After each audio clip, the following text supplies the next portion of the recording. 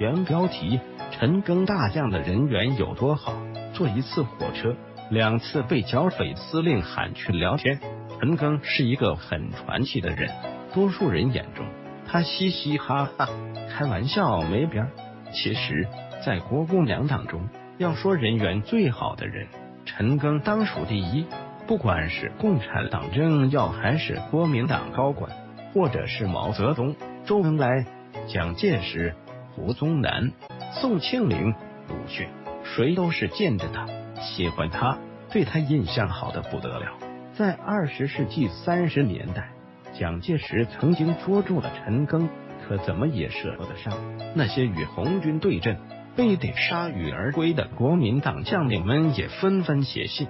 集体为陈赓求情，有人后来说，甚至陈赓从南京逃出来，是蒋介石欲擒欲纵，有意放了他。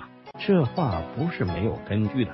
当年陈赓在火车上与剿匪司令钱大钧当面相遇，两次被人家喊过去聊天，最后人家还故意装傻放走了他，这是怎么一回事儿？那是一九二八年。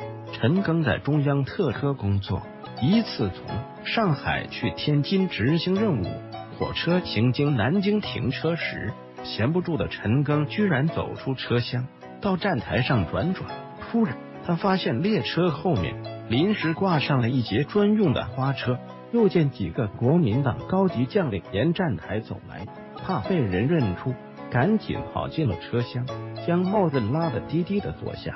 可是。他认识国民党教员太多了，忍不住又偷偷的朝车窗外面看。这一看不打紧，大吃一惊。原来被那些官员簇拥送上花车的，正是认识他的原国民党淞沪警备司令，此时已调任国民党江南剿匪司令的钱大钧。陈赓在黄埔军校时被称作黄埔三姐，还救过场蒋介石的命。钱大钧是黄埔军校的教育长，不仅认识陈赓，而且两人熟的不能再熟了。当火车启动离开南京后，陈赓坐在车厢，得意洋洋，满以为自己用帽子盖住了脸，就可以避开老熟人而不被发现。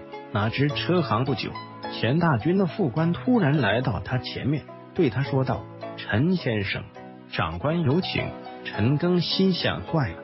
到底还是被他看到了。这位钱大钧的眼力好尖好毒，但他还是硬着头皮回答：“我不姓陈，是做生意的，哪里认识你们长官？你认错了人吧？”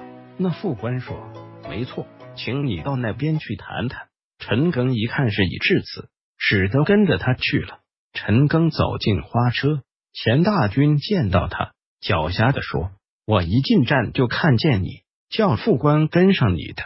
陈赓一听，也不再辩护，坐了下来。钱大军又问道：“你进来干些什么？”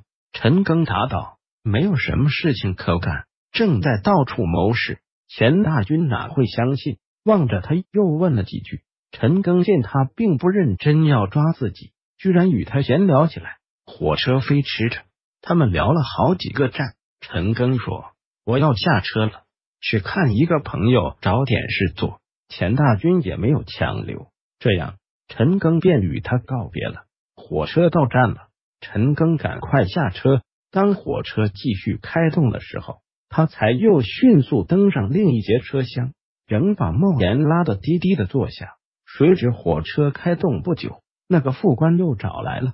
他抿着嘴，带着诡秘的神色说：“陈先生没有下车，长官请你。”原来钱大军派人盯住他了，陈赓又壮起胆量去了。